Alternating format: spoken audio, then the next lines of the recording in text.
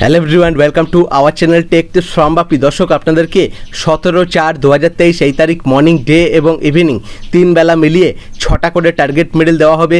এই ছটা মিডিলের মধ্যে থেকে ন টাকার ঘর খেলবে। ন টাকার ঘরটা যদি বাই চান্স মিস করে যায়, তারপরেও কিন্তু বড় ঘর খেলবে।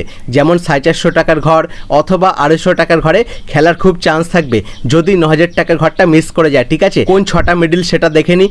মর্নিং ওয়ান পি এমে আপনাদের জন্য টার্গেট রাখলাম।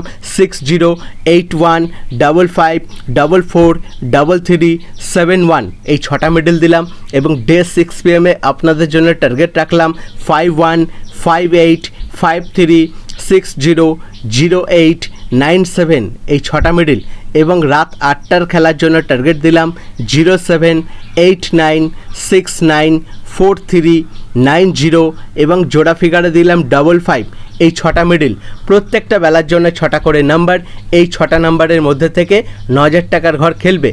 ন টাকার ঘরটা যদি বাই চান্স মিস করে যায় রেজাল্টে ফলো করবেন যে সাড়ে চারশো টাকার ঘর অথবা আড়াইশো টাকার ঘরে খেলেছে কি না আর এই নাম্বারগুলোকে কোম্পানি কখনো কখনো পাল্টি করে বা ঘুরিয়ে খেলে দিতে পারে। যেমন আপনাদেরকে দেখুন মর্নিংয়ে ষাট নাম্বারটা দিয়েছি সিক্স জিরো ষাট নাম্বারটাকে ঘোরালে বা পাল্টি করলে জিরো সিক্স হয়? এইভাবেও কিন্তু অনেক সময় বড় ঘরে খেলে দিতে পারে। সেটা মর্নিং ডে এবং ইভিনিং তিন বেলার ক্ষেত্রে এমনটা হতে পারে। তাই পাল্টি নাম্বারটাকেও গুরুত্ব দেবেন, ঠিক আছে?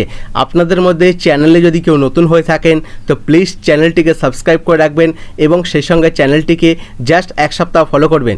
এক সপ্তাহ ফলো করলে বুঝতে পারবেন যে কতটা প্রো লেভেলের টার্গেট এখান থেকে দেওয়া হয়। ভিডিওটি এতক্ষণ দেখার জন্য অসংখ্য ধন্যবাদ। Thank you